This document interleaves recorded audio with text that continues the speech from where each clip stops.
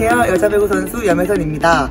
올림픽 때 여러분들이 보내주신 성원과 응원의 감동이 아직도 남아있습니다. 다시 한번 감사드립니다. 제가 태어난 목포에서 10월 14일부터 17일까지 목포 한국축제가 개최됩니다. 많은 분들과 직접 만나고 싶지만 온라인으로 개최되는 이 축제에 많은 관심 부탁드립니다.